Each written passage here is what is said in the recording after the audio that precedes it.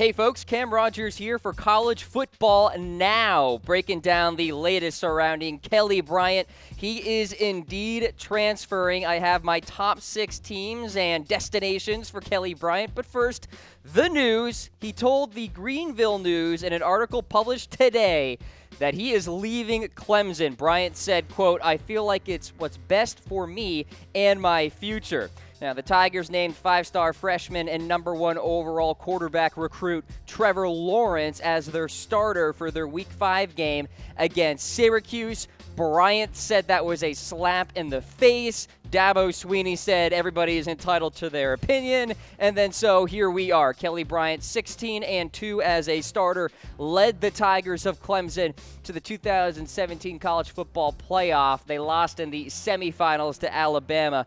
Bryant didn't practice Tuesday and had reportedly an emotional conversation with Dabo Swinney. Now, Bryant is the second high profile Clemson quarterback to transfer since May of 2018 when former five star Hunter Johnson left the program and then picked Northwestern. Now, it is of note as well that Trevor Lawrence has been performing really well so far this season for Clemson one of the most highly touted recruits at the quarterback position that I have seen in quite some time. Let's take a look at his stats so far this year. Also of note, Lawrence and Bryant have been splitting repetitions at the quarterback position so far this season. Bryant has been the starter to this point, of course. Lawrence so far this year, 39 of 60, 600 yards, nine touchdowns, two interceptions. Way better than Bryant's stat line, as you see here. 36 of 54, 461 yards, just two touchdowns to one lone interception there. Time for you guys to vote. Who's the better quarterback? L for Lawrence, B for Bryant in the comments section. Go ahead and type away. Let me know what you guys think. Now, with the new NCAA redshirt rules here, that rule says players can play up to four games and not be charged a season of eligibility. So Bryant played four games exactly. If he played one more, that year of eligibility would be gone. So something of note right there with Kelly as he looks for a new destination in college football. So with that, let's get to my top six teams, and we will start things off with number six, of course, West Virginia. The, the Mountaineers are 3 0 so far this year. Will Grier, of course, a transfer from Florida, so West Virginia has a history in that department. Now, Grier is, of course, slated to hit the NFL draft in 2019, and there's no clear cut next step after Will Grier leaves. There's Allison there on the depth chart. He has very little experience, just four total passes and one completion. By the way, one of those passes was an interception. West Virginia can really continue its fine play so far in college football into next season as well if they do indeed have Kelly Bryant on the roster there. It would be an interesting move, maybe not the best fit in the world as I go through these other teams here, but it is certainly a team to watch out for out there. The uh, West Virginia Mountaineers could be a destination. Let's take a look at number five. Illinois, two and two on the year so far. The reality is, Illinois is just not a good football program right now. And Lovie Smith, head coach, needs a major push because if Lovie Smith cannot get some sort of success this season, I think he's in trouble, guys. And let's say Illinois gets Kelly Bryant this year. Bryant will be your quarterback in 2019, and maybe that could save Lovie Smith's job as we stand. So it's something of note because Illinois lost to South Florida two weeks ago, 25 19. They got crushed by Penn State 63 24. If Illinois loses at Rutgers this week, Lovie Smith's job is going to be in major trouble but maybe he can save it if he finds a way to get Kelly Bryant. So Illinois is there at number five on the list. Let's go to Florida now. The Gators are three and one so far this year. Now, the current Florida staff is nothing like the staff that offered Bryant out of high school, but they do share one thing in common here.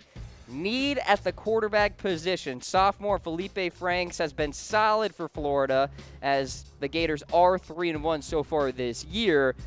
But he's just completing 52.6% of his passes, and he also barely won the starting quarterback job. Plus, Bryant's arrival would allow for true freshman Emory Jones to kind of develop and grow here. So, Bryant at this point is going to be your bridge quarterback wherever he goes, and I think it would work well in Florida with Bryant's ties there.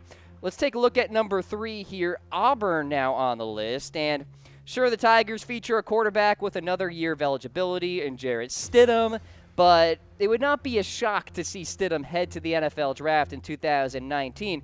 So here you go with the bridge quarterback argument here for the Tigers, a program that has only a single high school signee at quarterback on its roster from the last three classes. Plus, Bryant is familiar with the spread principles that Gus Malzahn likes to employ. Now, Malzahn's offense and Swinney's offense out there in Clemson, not exactly the same per se, but they share similar principles. So that is something that I want you guys to keep in mind here as we think about Auburn as a potential destination for Kelly Bryant. At number two, we remain in the SEC and talk about Vanderbilt, two and two on the year so far. Kyle Shurmur is a senior, so his time will be up after this year. Meanwhile, Mo Hasan, the sophomore transfer from Syracuse, overall just lacks experience. He has four total throws in his FBS career. So Kelly could be that nice bridge option for Vandy as they try to kind of grow their younger quarterbacks on that roster. There's also Alan Walters, as you see, the true freshman three star quarterback from New Jersey. But who really knows with him? So the logic with Vanderbilt very much the same with Auburn as well giving the opportunity for those younger quarterbacks to grow, and no clear cut answer after their current starter. Number one on the list, though, Arkansas. One and three on the season so far. The main reason, the Chad Morris connection. Morris played a role in the program's early evaluation of Bryant in terms of Clemson, with Morris being the offensive coordinator there. Morris, former offensive coordinator, of course. Arkansas already has played three different passers so far this season. They've combined to complete 50.8% of their throws. Not very good for the Razorbacks as we stand. They're trying to make it work, they're trying to make it happen.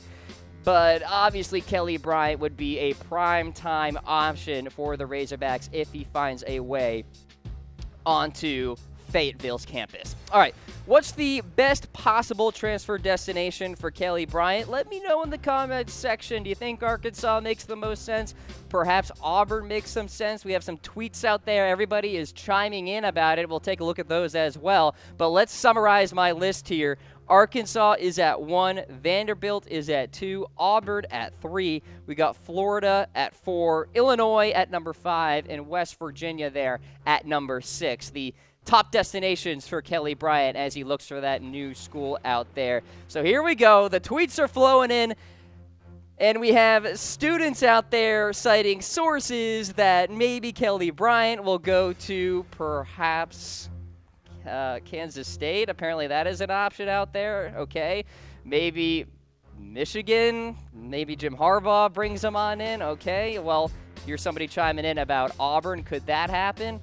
You saw Auburn on my list there. Gus Malzahn, similar offense ish to Clemson's. Kelly Bryant could be going to Arkansas. We have Trey chiming in. So everybody is trying to bring in Kelly Bryant to their respective schools that they report for and everything. So multiple sources. Be very careful when you hear that phrase. That's all I will say.